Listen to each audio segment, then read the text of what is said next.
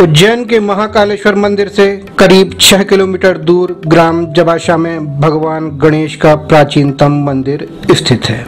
इसे चिंतामन गणेश के नाम से जाना जाता है। गर्भगृह में प्रवेश करते ही हमें गौरी सुत गणेश की तीन प्रतिमाएँ दिखाई देती हैं।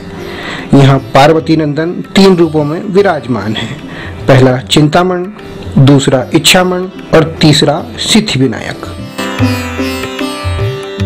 ऐसी मान्यता है कि चिंतामन गणेश चिंता से मुक्ति प्रदान करते हैं, जबकि इच्छा मन अपने भक्तों की कामनाएँ पूर्ण करते हैं। गणेश का सिद्धि विनायक स्वरूप सिद्धि प्रदान करता है। इस अद्भुत मंदिर की मूर्तियाँ स्वयंभू हैं। चिंतामन गणेश परमार कालीन है, जो कि नौवीं से तेरहवीं शताब्दी का माना जाता है। इस मंदिर के शिखर पर सिंह विराजमान है।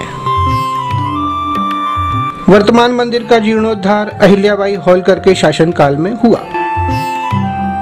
पौराणिक मान्यताओं के अनुसार चिंतामन गणेश सीता द्वारा स्थापित शट विनायकों में से एक हैं। जब भगवान श्री राम ने सीता और लक्ष्मण के साथ अवंतिका खंड के महाकाल वन में प्रवेश किया था, तब अपनी यात्रा की निर्विघ्नता के लिए शट विनायकों की स्थापना की थी।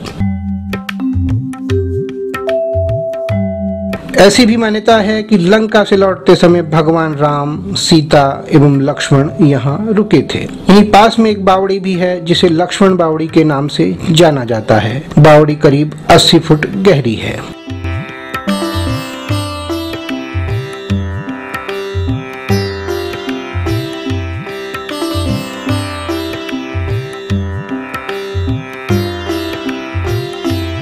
मंदिर के मुख्य पुजारी पंडित सीताराम ने बताया कि गणेश चतुर्थी, तिल चतुर्थी और प्रत्येक बुधवार को यहाँ श्रद्धालुओं की काफ़ी भीड़ रहती है।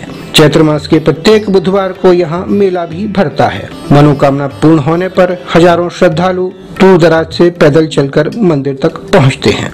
सीताराम पुजारी बताते हैं कि सिंदूर और वर्क से प्रातः गणेश जी का श्रृंगार किया जाता है, जबकि पर्व और उत्सव के दौरान दो बार भी लंबोदर गणेश का श्रृंगार किया जाता है। अवंतिका क्षेत्र उज्जैन में श्री चिंतामन गणेश मंदिर अति प्राचीन है। यह तेरहवीं शताब्दी का महारानी अहिल्याबाई द्वारा पुनर्निर्माण किया गया स्थान है। मालवा क्षेत्र में भगवान श्री राम जी द्वारा जो है, पूजन किया गया स्थान बताते हैं। सीता जी द्वारा स्थापित मूर्ति बताते हैं। यहाँ मालवा क्षेत्र में दो बाण गंगा है। एक यहाँ पे विद्यमान है बाण गंगा एक इंदौर में बाण गंगा के नाम से प्रसिद्ध है।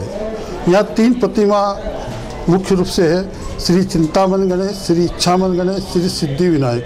पुजारी बताते हैं कि मनोकामना पूर्ण करने के लिए श्रद्धालु यहाँ मन्नत का धागा बांधते हैं और उल्टा स्वस्तिक भी बनाते हैं। मन्नत के लिए दूध, दही, चावल और नारियल में से किसी एक वस्तु को चढ़ाया जाता है। और जब इच्छा पूर्ण हो जाती है, तब उसी वस्तु का यहाँ दान किया जाता है। नवविवाहित जोड़ों के साथ ही नए वाहन खरीदने वाले लोग यहाँ विशेष रूप से विघ्न विनाशक गणेश का आशीर्वाद लेने आते हैं।